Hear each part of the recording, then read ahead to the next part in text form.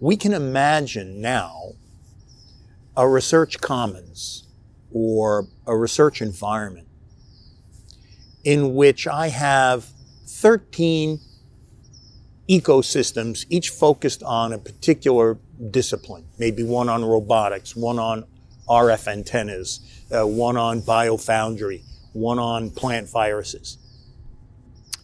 And then in a large number of ways, I can mix and match the energies among them and assemble with zero overhead the teams required to tackle complex new problems that arise in the world.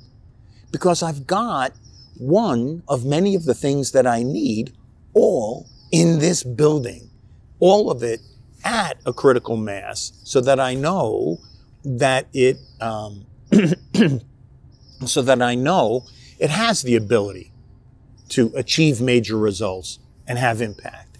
So underlying all these comments is the fundamental idea that it's not enough to do the research, it's not enough to make the discoveries, it's not enough to teach the students. We have to tackle the right projects and have the impact.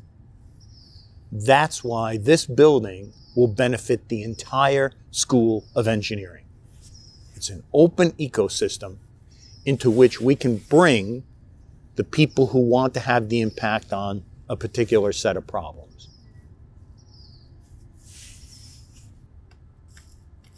This building represents the, the beginning of a new way of conducting research. Public-private partnerships, innovation centers that can shift entire platform technologies from one application to another to rapidly respond to the needs of the country. Franklin Antonio Hall will enable the people within it to do that. What could we do to allow many more people in the nation do this? And so this topic emerged out of the Dean's Roundtable, which is a which is a group of 31 deans. Uh, I am the founding chair sponsored by the NAE, National Academy of Engineering, to think about the high level problems. And the high level problem is how do we best pull through our research investments all the way to positive impact on society? Now, Franklin Antonio Hall is part of a number of schemes that we're building in the Jacobs School to be able to do it here. But should we stop here? The country is huge. Look at all the resources. So, working with the NSF, working with uh, uh, representatives in Congress, working with the NAE, working with a, a large number of industry. Now, the next venture is to say, hey, if I can't bring, if the Jacobs School can't bring this physical facility to everybody, what new paradigm could we bring that helps people get to that accelerated circulation of people and ideas for the country.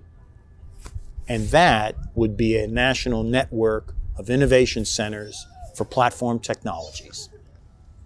Franklin Antonio Hall represents the logical extension of everything this campus is doing. It's, it, it is the next step of the trajectory of the campus this kind of space is exactly where the campus intrinsically is trying to go. That's why I believe it's going to be incredibly successful. Everyone is already internally ready for this kind of environment. They're just waiting for it. And in just a few months, it's going to be here.